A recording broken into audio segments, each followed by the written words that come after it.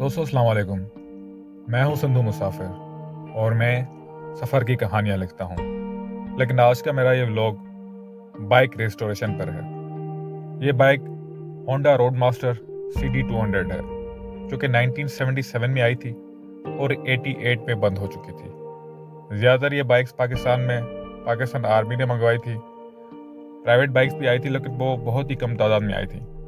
ज़्यादातर ये बाइक्स लोगों के पास आना शुरू हुई ये पाकिस्तान आर्मी ने जब ऑप्शन की तो लोगों ने ऑप्शन से खरीद कर ये बाइक दोबारा रीस्टोर की। इस बाइक का लोगों को बहुत ही क्रेज सवार है।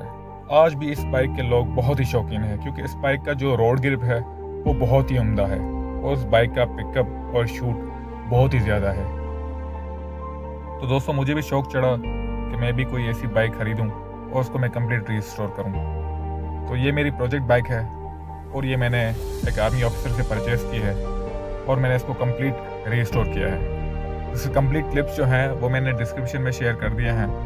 आप उन सबको देख सकते हैं कि मैंने इसका जो पार्ट्स हैं, वो कैसे आउटसोर्स किए हैं, कैसे मैंने कराची से कहाँ से इसका जो है सामान परचेज़ किया है इंजन का सामान हो गया एसेसरीज हो गई, इस्लामाबाद से इसका क्या सामान मैंने ख़रीदा है ऑनलाइन मैंने कौन कौन सी चीज़ें मंगाई है, कहाँ से मंगाई हैं, उन सब के कॉन्टैक्ट नंबर वो सब मैंने वीडियोज़ में शेयर कर दिए हैं, ताकि आप भी बसानी वहाँ से सामान मंगा सकें। आगे वाली वीडियोज़ में मैंने ईच एंड एवरीथिंग हर चीज़ बताई हुई है कि इस बाइक पर मेरा कितना खर्च आया है कौन सी चीज़ मैंने कितने की ली है।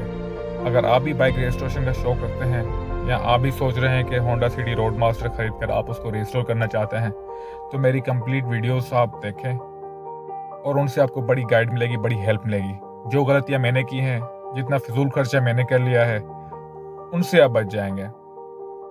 इस बाइक रेस्टोरेशन के मुतलिक जितनी भी वीडियोस हैं, वो मैंने डिस्क्रिप्शन में उनके लिंक्स दे दिए, आप उनको क्लिक करके वो वीडियोस देख सकते हैं। और अगर आप मुझे अप्रिशिएट करना चाहते हैं तो मेरे चैनल को सब्सक्राइब करें बेल आइकन भी दबा दें, और लाइक भी ज़रूर दीजिएगा। बहुत शुक्रिया।